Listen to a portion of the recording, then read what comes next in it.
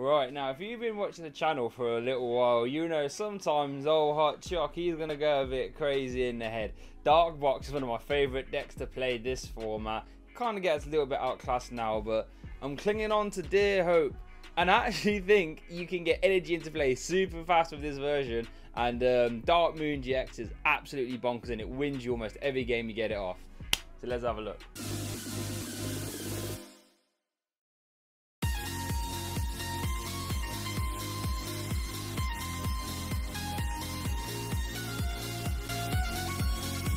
Right, so like I said in the intro, Dark Box is one of my favourite, favourite decks of all time to play. You have so many good power spike turns, we can just go absolutely nuts. As more free prizes come out, Pale Moon GX, I think it's called, only really gets better being able to just one-shot everything. Um, no questions asked. Stops and playing trainers as well. You pretty much win the game when you get it off, and I feel as if this list is pretty good so far in getting that off. So let's have a look. So we lose stuff like Naganadel Beast Ring, I'm not really a fan of red and blue. So we've gone for the Sharpedo. Uh, Sharpedo's got a really cool ability. Um, when you evolve him, you can look at the top six cards of your deck. Any energy you find there, you can attach to it. So on face value, I mean, it's got pretty good synergy with its attack, but um, we don't really want to be attacking with this. What we can do in combination with our Weavile, we can then move those energies off onto our really good dark type attackers. Like we know how good dark type attackers are.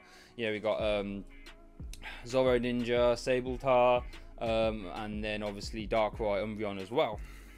So let's get on to those attackers. So we play two um, Greninja Zoroark, uh, just it's a good little ramp attack. Like we can get a silly amount of energy in play, really nice, to just maneuver around our Pokemon. And this is a really good late game cleanup attack, or a really good um, early game tempo attack as well. Let's say you sort of uh, attach one, attach another one, and then you Sharpedo get three more in play. That's a good little poke. So um, yeah, really nice. 250 HP for a tag a little bit on the low side now for sure. I hear you, but it still smacks pretty damn hard. So here's our main attacker that we try and use the most though. We got Umbreon Darkrai.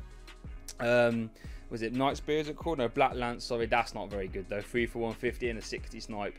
I mean, 150 isn't even a consistent two shot anymore, which is sad to think about. His GX attack though, for one energy, you stop your opponent playing trainers next turn. That's not very good. But for 6 energy in total, um, you knock out whatever's in their active. Okay, so now we're talking. So let's say they've got a big, bad, scary Eternatus out. You can just be like, lol, Dark Moon, boink. And then they can't play trainers as well. And at that point, then you can just move your energies off this onto your Zoro Ninja, slap, you know. so um, Darkrai Umbreon, I think, is worth building around just for that GX attack alone. You know, Blur, Black Lance, whatever it's called, not really the greatest. Used to be a lot better. I mean, you can snipe onto the Dedenne, which is always fun. But um, apart from that, not very good. We then play a 2-2 Weavile. Okay, Weavile's obviously going to let us move around the energies as well, just so we can, you know, yeah, we don't really want them on the Sharpedo, so we can move them off to Zoro Ninja, Umbreon Darkrai, or we can move them on to point out space here. Uh, good old Mega Sableye Tyranitar. What a scary geezer. Greedy Crush, 5 for 210. Lets you take an extra prize if it knocks out an EX or GX. So three prizes on the Dedenne. That's cool. So you can go Moon into the Dedenne. Lol, see you later. Like, really, really cool. And I guess Gigafall GX, I haven't actually managed to get it off yet, but um, does 250, great. But um, if you've got, what, 10 energy attached in total, you can discard the top 15 cards of your opponent's deck. Let me know if you ever get that off, because that is also pretty bonkers. Right, we then play one Guzzlord as well. Let me just shift all these up. Come on, there we go. Oh, that's actually pretty good. So yeah, we've got one of the Guzzlord as well. Red Banquet for 4 energy, 120. And you take an extra prize card when you knock something out. So this is really cool. Against stuff like the Decidueye, for example, we can play a lol and start taking two prizes on you. That's pretty funny. But um, what I really like with this is, let's say you've used Black Lance into a Dedenne, for example, or even into like something like a Pikarom if they're still around. Um, you can then finish him off with Red Banquet and take an extra prize, right? Silly, silly, silly, silly stuff without using the GX as well. So there's just going to be multiple times where Guzzlord is going to like, you know, pull his weight for sure. And um, with Weavile and Sharpedo, you can like, you can bring this guy out semi-reliably and start slapping stuff around with him. So I'm really impressed with Guzzlord. And we play one Dedenne.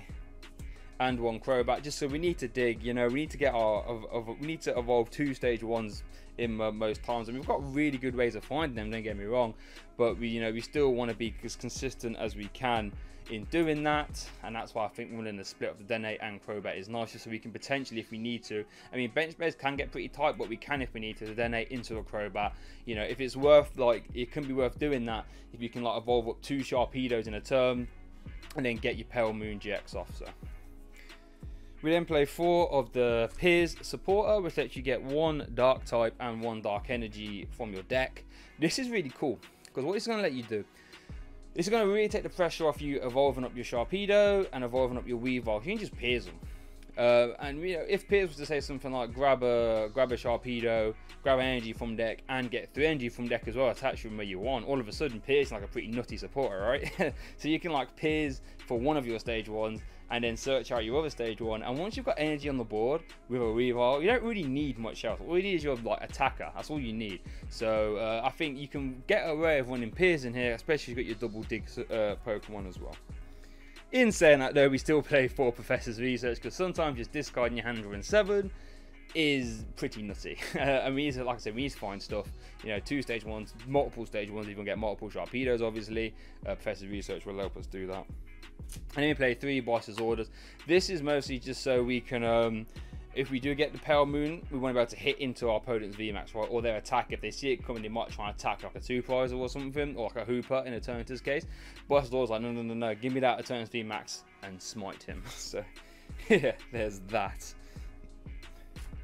We then got, it is four, isn't it? Yeah. so, we got four quick ball.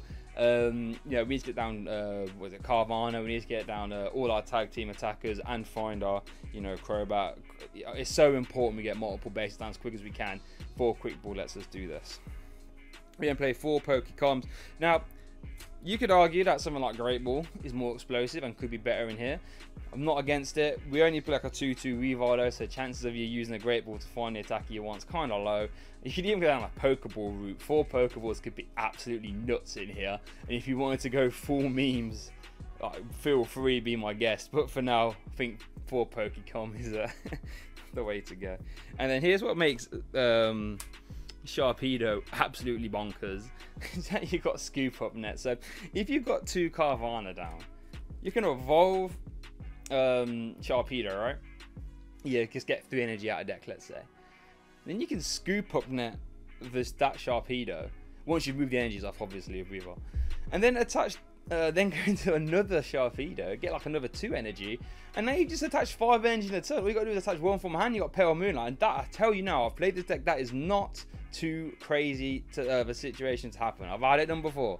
It's pretty nuts. Scoop up net with Sharpedo is pretty silly. It makes me. I wish I could fit like a Zigzagoon in here, just just for maths fixing. To be honest, if you can fit a Zigzagoon in, feel free. We then play two switch because you know we need to maneuver around. You know, switch is quite a boring card in a fun deck like this, but it is still necessary, unfortunately. So we play two of those. And then for our stage, we play one black market. Um, I'm not 100% sure, uh, sold on this, but we are attacking mostly a tag teams, similarly to like how Eternus would.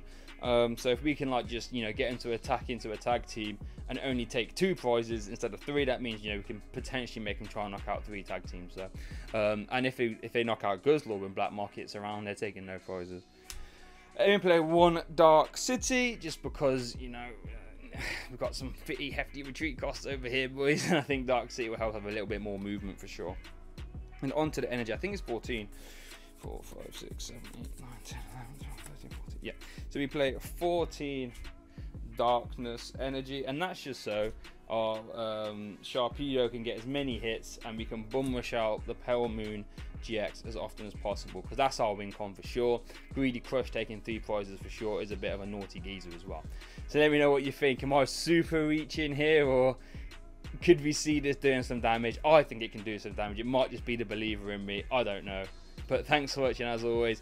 What do you think? Let me know in the comments. If you're after more Darkness Ablaze content, make sure to check the player start in the description. I've got so many post rotation deck profiles and gameplay too. But thanks for watching and I'll see you all next time.